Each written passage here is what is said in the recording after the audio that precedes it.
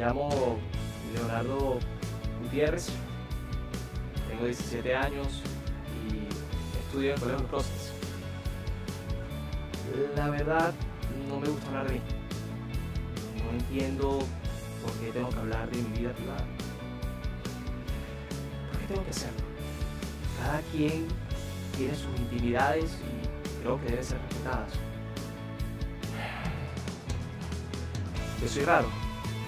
No, no. Raras son esas personas que hacen públicas sus intimidades que viven de lo que piensan los demás.